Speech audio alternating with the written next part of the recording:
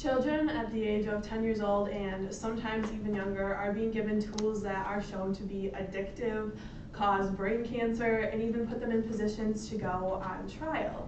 Now, what is this tool? Cell phones.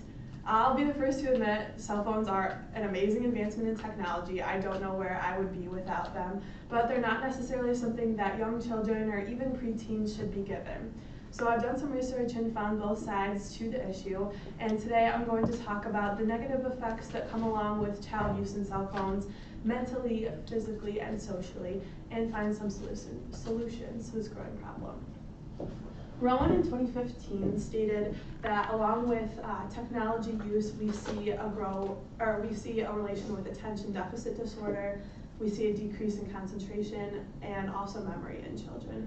And this is a really important time in their lives. They're all learning and developing, and these issues are pretty big. Also, parents are not necessarily regulating their child's cell phone use, so a lot of times kids have their phones or tablets or whatever at night, and they're staying up all night and not going to sleep. And actually, 75% of 9 to 10 year olds are sleep deprived. Taylor in 2015 um, also did an article about New York City schools. They recently um, stopped banning cell phones in schools, and a principal was interviewed, and he stated that along with this there would come more theft and things like that, but also be easier for children to cheat in school. Like when you have your cell phone right there, it's a lot easier for you to look up the answers.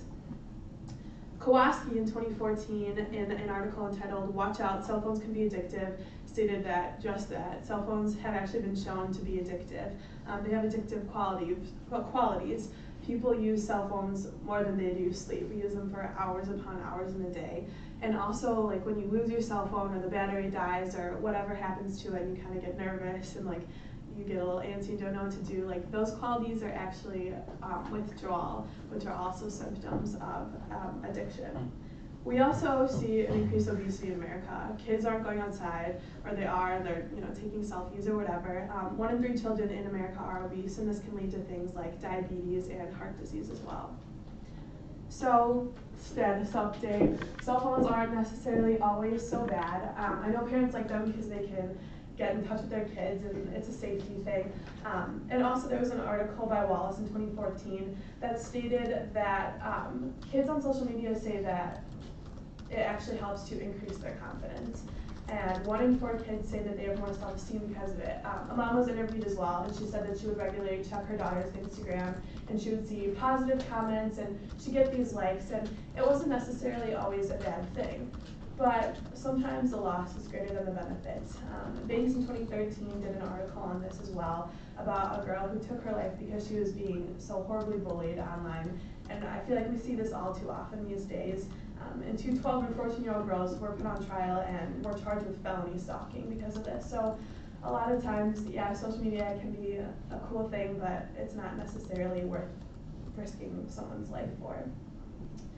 So some possible solutions to this issue would be to get your child a cell phone that's a little more simple maybe, something that's just used for emergencies. I know there's like a Firefly phone where you can only have about three numbers and only can call 911 and you can't text or do anything like that. So that might be a good solution.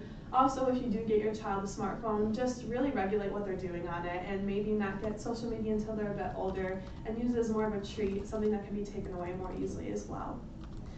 So today we've talked about some negative effects of cell phone use mentally, physically, and socially in children, um, and seen that while we're probably not going to rid the world's children of cell phones, they should be regulated a bit more. And I hope that when you buy your kid a cell phone, like the iPhone 47 or whatever is out then, that you take a little time to think about what they're doing on it.